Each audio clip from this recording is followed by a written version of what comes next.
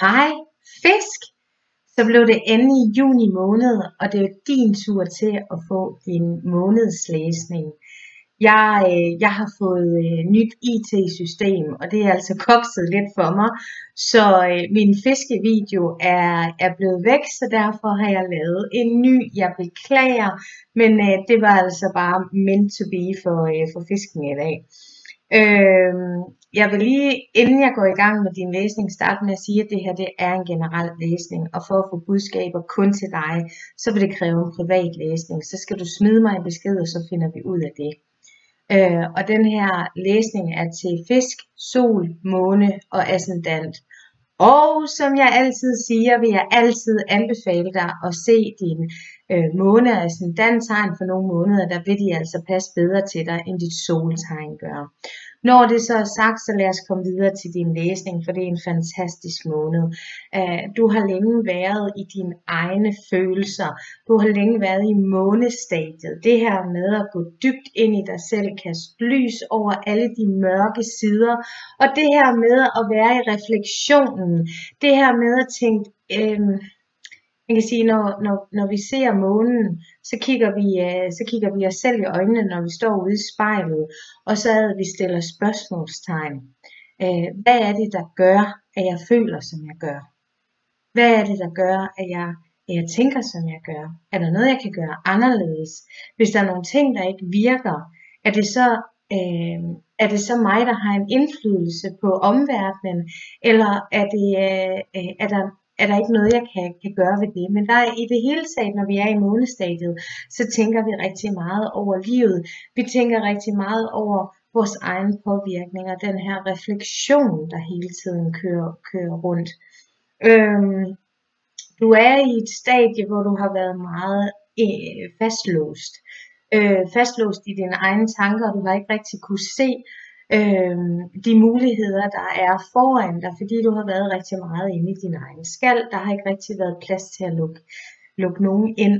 Og, øh, og hvis de har fået lov at komme ind, så har de i hvert fald ikke fået lov til at, øh, at byde ind med gode råd, fordi du har ikke rigtig været modtagelig for gode råd. Det kan godt være, du har hørt, hvad de har sagt, men, men det rører ind af det ene og ud af det andet. Øhm, men det er heldigvis forbi, fordi nu kommer du til juni måned. Juni måned er måneden, hvor du siger pyt, eller ryster fjerne og lader alt støvet øh, rasle af dig. Alle de her frustrationer, alle de her følelser af at ramme panden mod en mur. Nu, øh, øh, nu, kan du, nu kan du ryste hele af dig, og nu kan du komme videre.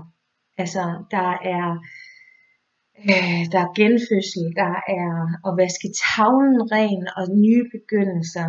Øh, transformation er, øh, er på øh, tavlen for, øh, for fisken her i, i juni måned. Øh, det er altså virkelig også måneden, hvor du kan manifestere anything. Alt er muligt. Og, øh, og det er altså fordi, at, at, at du letter den her byrde Øh, du stiller rygsækken, om du vil, herover øh, og siger, det kan jeg simpelthen ikke tage mig af.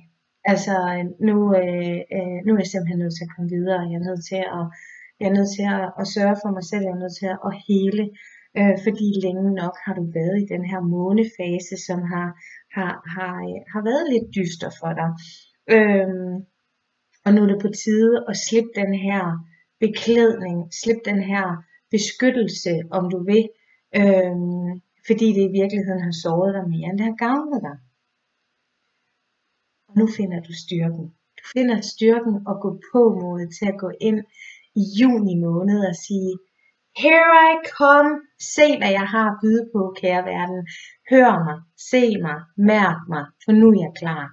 Nu er jeg klar. Det kan godt være, at jeg ikke hørte dig kalde før, men det gør jeg nu.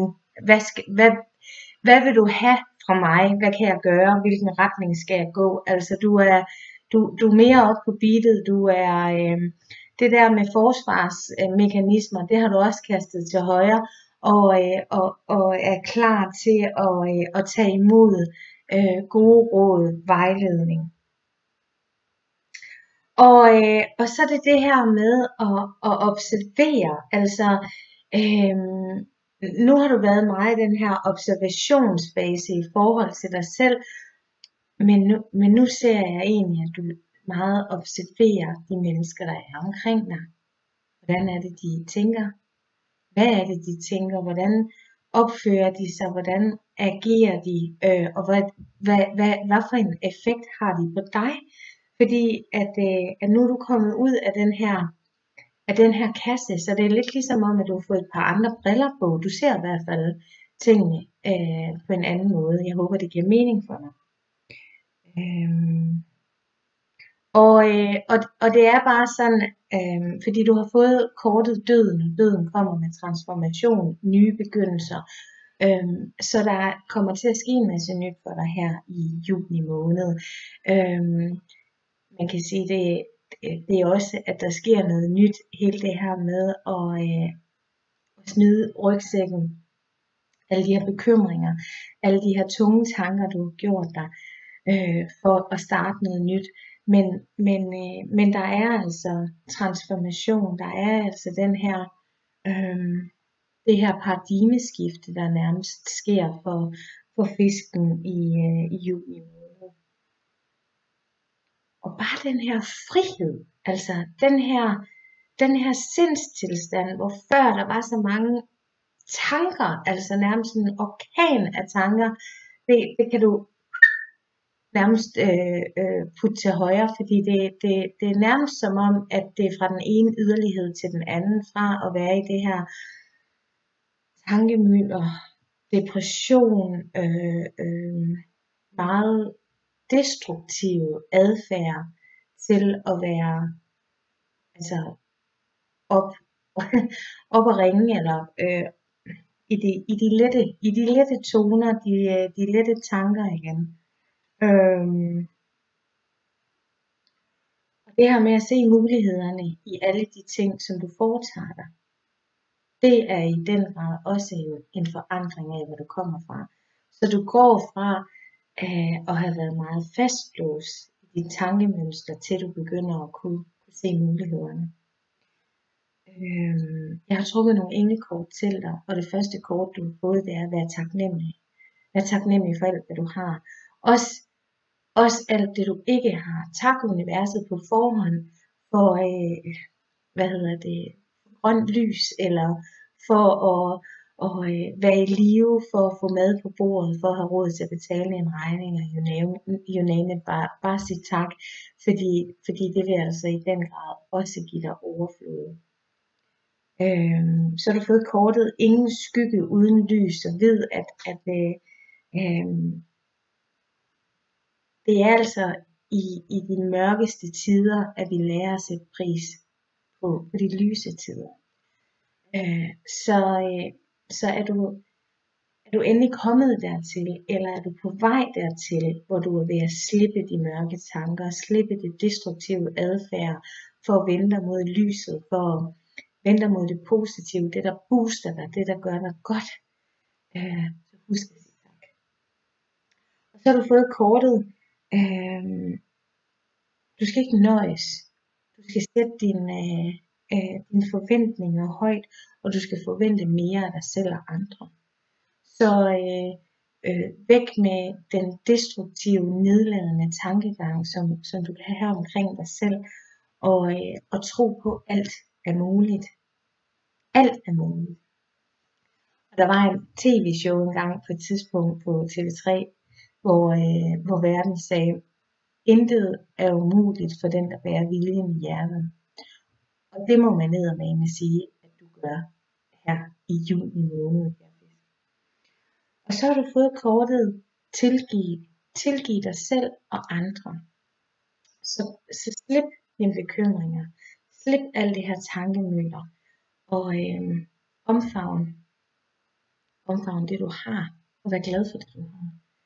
Øh, og du fortjener at have det godt. Så boost dig selv med, med al den her gode energi. Jeg fisk.